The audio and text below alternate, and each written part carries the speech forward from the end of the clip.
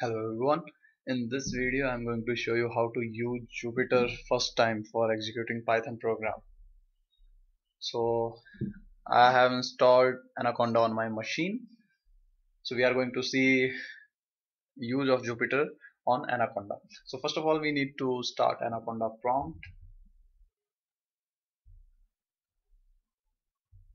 So in this one what you need to do you need to write Jupyter notebook so it will start Jupyter server. And uh, it will show you this web page so in case if it's not shown in your case you can write this localhost colon four times 8 now what we need to do we are going to create a folder first. So I'm going to click on new folder so when you go there you can see so this one is the one I have created just now.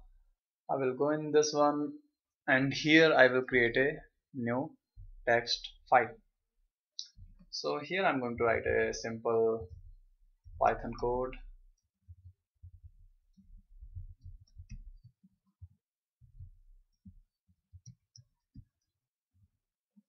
Okay we will change the name of this file. Let me write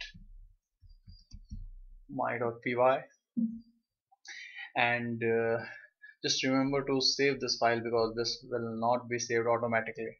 Okay so we are done with our python code. Next what we need to do we need to go to new and we need to start one notebook. So I'm going for python default.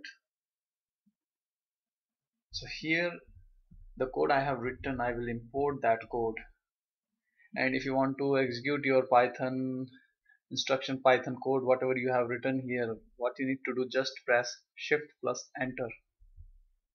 So I just press shift and enter. So this one is executed.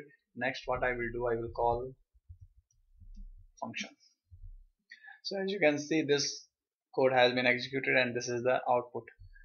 Or in another way you can write your code here as well like let's say range 10 and we are going to print every element in this list.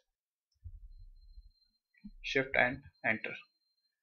So this is the output of your code. So you can execute your code in this way or if you are having your code stored in python files you can execute those code as well. Thank you very much for watching